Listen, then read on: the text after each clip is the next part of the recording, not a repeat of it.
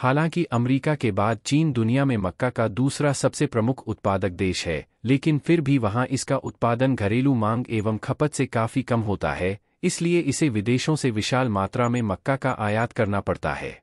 General administration of customs के आंकड़ों से पता चलता है कि चीन में वर्ष 2022 के मुकाबले 2023 में मक्का का आयात 31.6 प्रतिशत उछलकर दो लाख टन के शीर्ष स्तर पर पहुँच गया। इसके तहत खासकर दिसंबर 2023 में वहाँ मक्का का आयात बढ़कर उनचास दशमलव पाँच शून्य लाख टन पर पहुँचा, जो किसी एक माह का सबसे ऊँचा स्तर है। इससे पूर्व नवंबर में वहाँ पैंतीस दशमलव नौ शून्य लाख टन मक्का मंगवाया गया था। दिसंबर 2023 का आयात दिसंबर 2022 की तुलना में 400 प्रतिशत अधिक रहा। उद्योग समीक्षकों के अनुसार प्रमुख निर्यातक देशों में मक्का का भाव घटकर नीचे आने के कारण चीन के आयातकों ने उसकी खरीद में भारी दिलचस्पी दिखाई।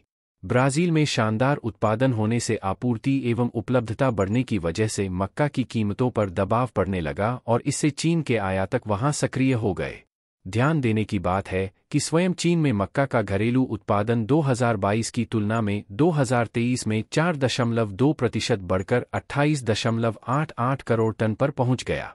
चीन में वर्ष 2021 के दौरान मक्का का आयात उछलकर दो सौ चौरासी लाख टन के सर्वकालीन सर्वोच्च स्तर पर पहुँचा था, जबकि 2023 का आयात उससे महज 13 लाख टन कम रहा। शानदार घरेलू उत्पादन के बावजूद चीन में मक्का का विशाल आयात होना इस तथ्य का संकेत है कि वहाँ पशु आहार निर्माण उद्योग में इसकी मांग एवं खपत तेज़ी से बढ़ रही है। हालाँकि चीन में गेहूँ का आयात नवंबर के मुकाबले दिसंबर 2023 में 7.6 प्रतिशत घटकर 6.10 लाख टन पर सिमट गया लेकिन वर्ष 2022 की तुलना में वर्ष 2023 के दौरान इसका कुल आयात 21.5 प्रतिशत की वृद्धि के साथ 121 लाख टन के उच्च स्तर पर पहुँच गया।